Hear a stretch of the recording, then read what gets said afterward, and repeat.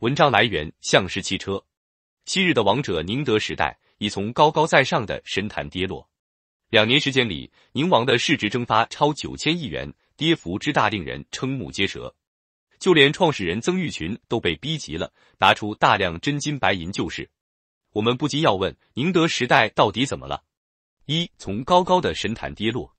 与许多行业大佬一样，曾毓群出生在贫寒农民家庭，依靠自身努力。通过学业改变了自己的命运，曾毓群成为新能源领域的专家。二零一一年，曾毓群抓住新能源的时代东风，在老家福建宁德创立了宁德时代。二零一八年，宁德时代上市，这家动力电池巨头终于走到了聚光灯下。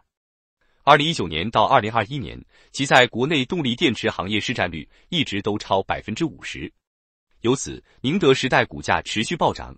二零二一年十二月一度超三百八十元，市值高达一万六千八百亿，仅次于贵州茅台。可是从二零二二年起，宁德时代股价便进入了下跌通道，持续跌跌不休。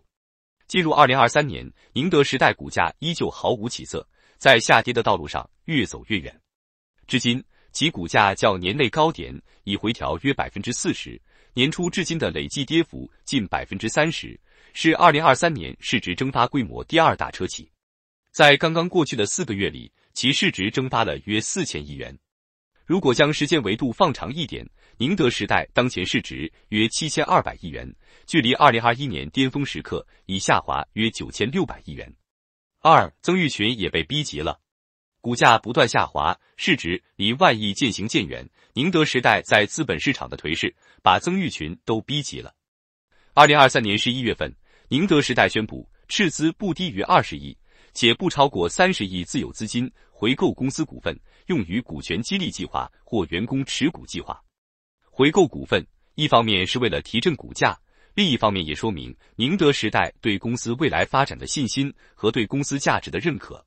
宁德时代已根据计划完成两次回购，总额超过九亿元。不过，回购并没能阻挡公司股价进一步下跌的趋势。事实上，宁德时代的业绩依旧亮眼，持续正增长，只不过似乎碰到了天花板，想象空间正在变小。二零一五至二零二一年，宁德时代营收、净利润年复合增长率分别为百分之五十六、百分之五十二，而二零二三年前三季度，其营收为一千零五十四亿元，同比增长百分之八点二八，增速创下三年新低。同期净利润一百零四亿元，同比增幅百分之十点六六，为过去六个季度新低。宁德时代在国内动力电池的市占率，二零二二年跌破百分之五十大关，滑落至百分之四十八点二；二零二三年前十个月则进一步跌至百分之四十二点七六，较二零二一年巅峰时期减少了近百分之十。三，宁德时代到底怎么了？宁德时代市占率不断下滑的背后，是市场不愿宁王一家独大。作为朝阳产业，谁都想在新能源动力电池行业分得一杯羹。国内的中创新航、国轩高科、亿纬锂能、新旺达等动力电池企业，千方百计的蚕食其市场份额。还有整车厂商们不愿意将自主权长期放在宁王手里，不想给宁德时代打工。比亚迪、长城、蔚来、吉利、北汽、上汽。长安等都早早开始布局动力电池，比亚迪、福迪电池、长城、蜂巢能源不仅自供，而且还外供。蜂巢能源更截胡宁德时代，斩获了宝马约一千亿的大额订单。国外的 LG 新能源、松下、SK On、三星、SDI 等也不甘落后，都在全球市场围剿宁王。除此之外，宁德时代在海外市场不仅面对贸易战等诸多不确定性因素外，而且还遭遇着欧美国家对中国动力电池产业筑起的封锁围墙。例如，在美国通膨削减法案影响下，宁德时代选择曲线救国，与福特合资在美国建厂。但即使这样，这项合作遭到了美国监管部门的多次质疑和调查。外界担忧，宁德时代在美建厂的计划可能会落空，将限制其未来在全球的市场空间和增长潜力。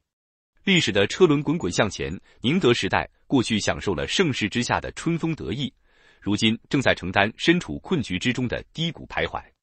没有宁王的时代，只有时代的宁王。宁德时代正处于十字路口。从赌性坚强到普博渊泉，曾毓群与宁德时代都在转变。